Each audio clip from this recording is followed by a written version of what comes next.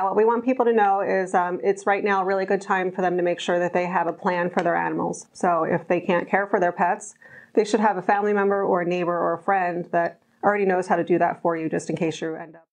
Hi, I'm Bucks County District Attorney Matt Weintraub. Today I have the pleasure of being joined by Michelle Grundahl, who is the coordinator for Bucks County Animal Response Team, or BCART. Thank you for coming today, Michelle. Thanks for having me. Today we're going to talk about some tips that people might find useful and some resources because in this time of COVID-19, our pets are really, really counting on us. So can you give us a couple of tips that might be useful? Sure. Yeah. What we want people to know is um, it's right now a really good time for them to make sure that they have a plan for their animals.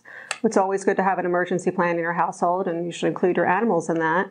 Um, right now, we want people to also think about having a, buddy system set up. So if they can't care for their pets, they should have a family member or a neighbor or a friend that already knows how to do that for you just in case you end up uh, hospitalized or have another emergency. Uh, there's some great tips, and I understand that there are a number of great resource organizations throughout Bucks County.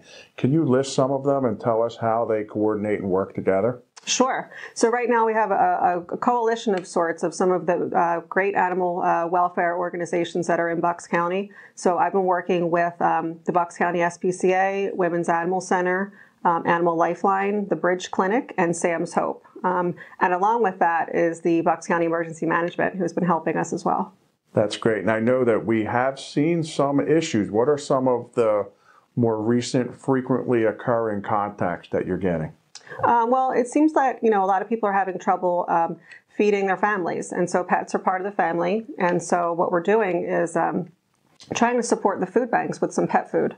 So that's a need that we're seeing in the, the county, and we're trying to help take care of that. And that's something you talk about a great public-private partnership. I know that the Bucks County detectives actually got involved, and we we were able to distribute a, a whole ton of food to a lot of the pantries. Yeah, it's very helpful. That we're supporting about 16 pantries.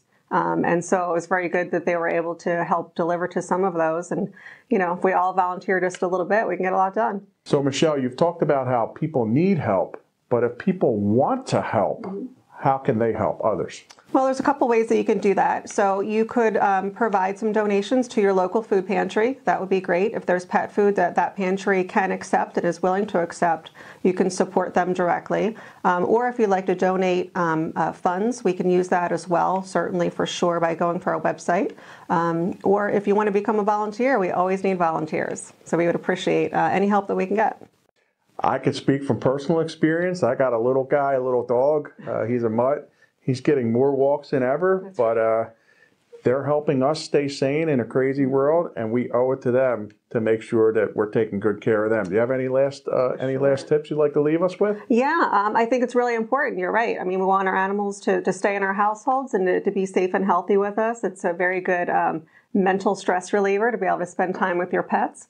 Um, and there's always other emergencies that you can think about preparing for. So it's always good to have a collar on your pet with a phone number. Um, if you can microchip your pet and make sure that microchip is registered, that's great. Um, and you should always consider keeping a supply of food, medication, and, uh, and your veterinary records handy as well. All right. Thank you very much for joining us today.